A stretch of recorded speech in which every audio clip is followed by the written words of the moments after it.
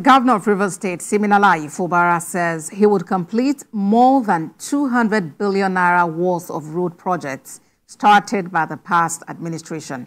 He made the promise while listing his achievements in infrastructure development and other sectors in his first year in office. There is more in this report.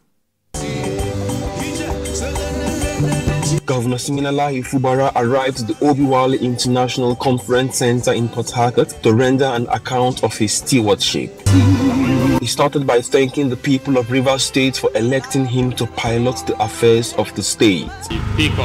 Governor Fubara said his administration has made giant strides in road infrastructure despite meeting more than 200 billion naira in uncompleted projects by his predecessor. With a combined cost of 528 billion, the 50.15 kilometer ring road, the dualization of Elele, Egbeda, Omoku Road, and the Trans-Kalabari projects are three most ambitious road projects ever carried out by any government in River State. This government is one year old, but the administration says governance has lasted barely six months due to the political crisis.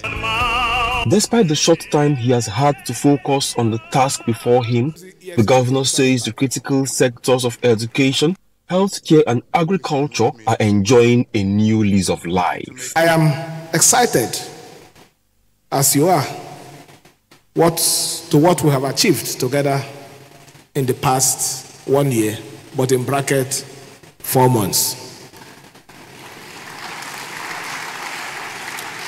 Finally, as I look forward to another fulfilling year of working with everyone to make our beloved state the greatest state in Nigeria, let me appeal to the opposition that we need peace and security, not crisis and trauma for River State to develop to the glory of God. Highlight of the event was the unveiling of the governor's scorecard, a booklet containing details of all the government's achievements since coming on board. And services